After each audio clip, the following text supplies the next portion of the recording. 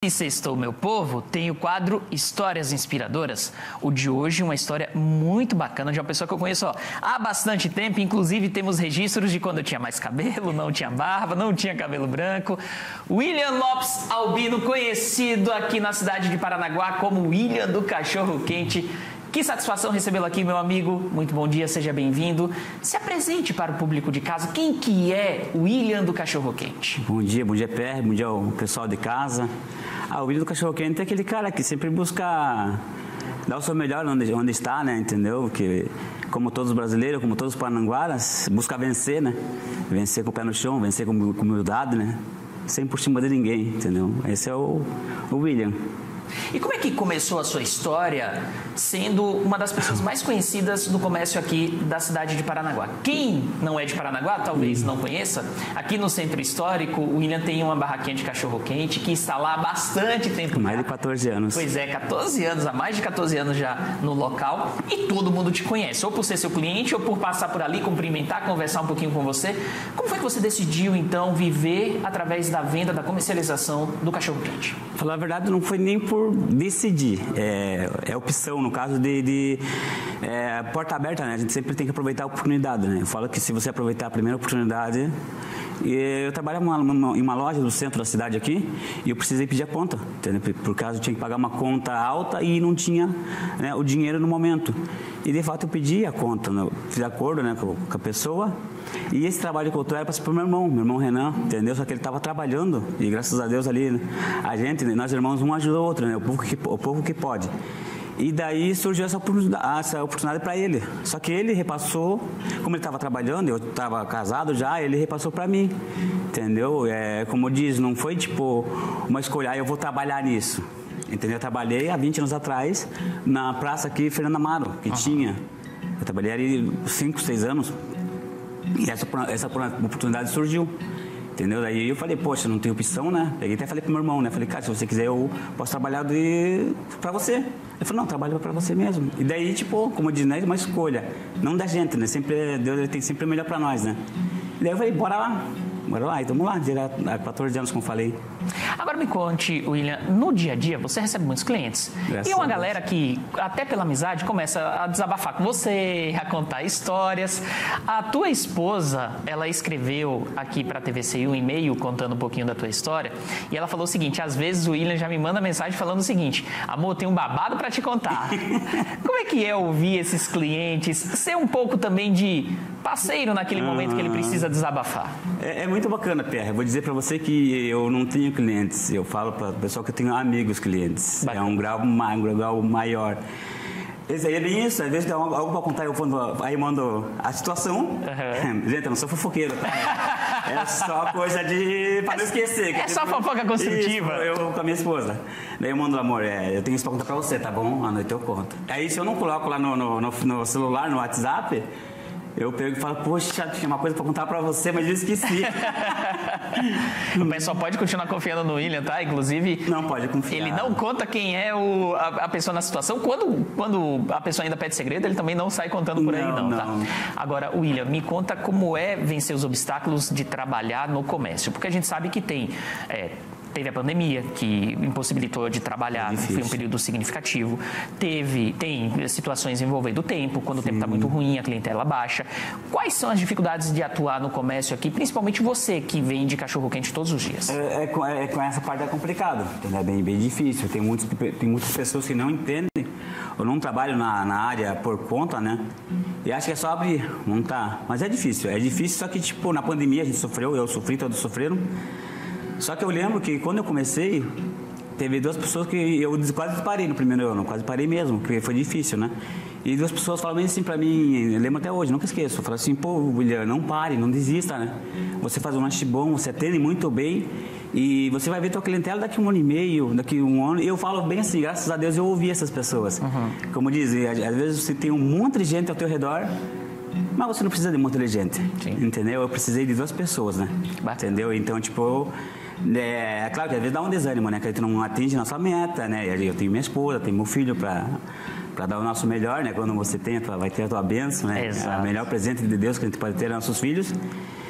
Mas eu ponho assim, Pé, sempre falo, quase todos os dias eu falo, sim, eu pagando minhas contas e mantendo minha casa bem, minha esposa bem, meu filho bem, o resto é lucro. Entendeu? A gente passa por dificuldades, mas a gente passa agradecendo a Deus. Entendeu? Isso é, acho que é essencial, confiar em Deus em, em qualquer situação. Esse é o. E me conte, uh, além dessa questão, quais são as principais dificuldades de atuar no comércio e, principalmente, a importância da família? Você falou aqui, desde a primeira pergunta que eu te fiz, você falou do apoio da sua esposa, é, da importância da sua, do, do, seu filho, da sua família. Qual a importância de ter esse alicerce que é a família no dia a dia? Ah, eu acho, eu acho não, pela verdade, não, não é nem achar, é uma certeza. Acho que é essencial, né? Se a gente não tiver, eu digo por mim, com certeza você também, né, PR? Sim. Se a gente não tiver a esposa ali do nosso lado, nosso filho, é... eu falo ali no meu, meu, trabalho que eu tenho minha mãe, meus, meus irmãos, minha, minha, minha sobrinha, meus sobrinhos, e muitos conhecidos, mas ninguém é mais importante que minha esposa. Ninguém é mais importante que meu filho, entendeu? Tipo, porque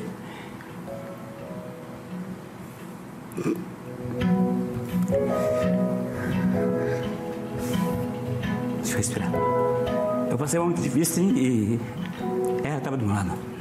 Ela segurou minha mão. É, tem um momento que deu vontade de parar. Né? E, e aquele momento que ela não, não largou de mim, não desistiu de mim. É, e, e, e, por isso que um dos motivos que eu falo de, de, de que eu ponho ela abaixo de Deus, minha esposa, foi porque ela teve é, vários motivos para desistir e não desistiu. Entendeu? E, e eu falo que o nosso sucesso, nosso sucesso de pai, né, é, nós não temos, é, tem ditado né, que atrás de um grande homem tem uma grande mulher, né? É um ditado mentiroso, que não é atrás. É do lado, entendeu? Do lado. Eu falo que, que o meu maior sucesso, eu falo no meu trabalho que se eu estou é, é, vivendo esses momentos maravilhosos, é porque ela sempre esteve do meu lado, entendeu? Minha esposa, meu filho. Então eles para mim são a, a, a, maior força que eu tenho, entendeu? Até dá uma sai um pouco de lágrima, que a não chora, né? Mas é gratificante, cara. É muito é, é lágrima de, de, de, de, vitória, lágrima de felicidade, entendeu? É muito, muito bom demais. E você está emocionando não só ao Pierre Andrade, mas a muitas pessoas, tá? Porque eu, tam, eu emocionado, o público em casa emocionado, o pessoal no Switch era emocionado, porque é muito bacana quando você tem é, essa noção do, de reconhecer a importância da família. William, para a gente terminar, eu quero te pedir um favor, quero te pedir uma gentileza. Muitas pessoas, elas assistem o quadro Histórias Inspiradoras pensando, eu também tenho esse sonho, eu também tenho essa vontade de empreender, eu tenho esse objetivo de vida. Então, para incentivar aquelas pessoas que têm esse sonho, mas ainda não foram atrás do seu próprio objetivo, do seu objetivo de vida, do seu propósito, mande uma mensagem olhando diretamente para aquela câmera ali no canto. Quer isso? É. Pessoal, é, é difícil para todo mundo, né? Primeiramente, põe a Deus acima de tudo, esse é um fato, né? E depois a sua família. Vai ter momentos difíceis, vai ter momentos bons, mas agradeça a Deus no momento difícil, que no momento difícil que, que Ele trabalha, né? E, poxa, para um guri que com 9, 10 anos, 10 anos cuidava de carro e hoje está aqui, eu falo que nada é impossível, gente. É impossível para nós, né? Mas quando a gente confia em Deus, não existe o, o impossível. Eu falo que o impossível é só apenas uma palavra. O resto é sucesso. William Lopes Albino, mais conhecido como William do Cachorro Quente. Meu amigo, muito obrigado pela participação Eu aqui no Bom Dia Litoral. Foi uma conversa muito produtiva. Eu passaria o programa inteiro batendo papo aqui amém, com você, amém. principalmente falando da importância da família e de como você superou todos os obstáculos. Por isso, já faço convite, tá? Volte aqui um outro dia para contar um pouco mais da sua história para o público de casa. Foi um prazer enorme recebê-lo aqui. Eu que agradeço, PR. Acho que você é um cara incrível, né? Porque você está na minha frente, né? Obrigado, irmão. Conheço você, tenho Michel? Michel, que passava o passa no meu trabalho berrando meu nome. Eu falei pra minha esposa, quem que é? Ele me louco berrando, né? Ele passava berrando e erguia. Aí uma vez minha esposa falou, é aquele moço da TV, entendeu? O grandão. Aí tava começando a ser barba, né? que legal. É, é a, a, TVC em geral, né? O sucesso da TVC, entendeu? Que tem pessoas humildes, pessoas de público, pessoas que estão ali sentindo o povo, entendeu? Então esse é o segredo do sucesso, né, do programa. Obrigado, meu irmão. E, Obrigado, e a esposa e o filhão estão assistindo?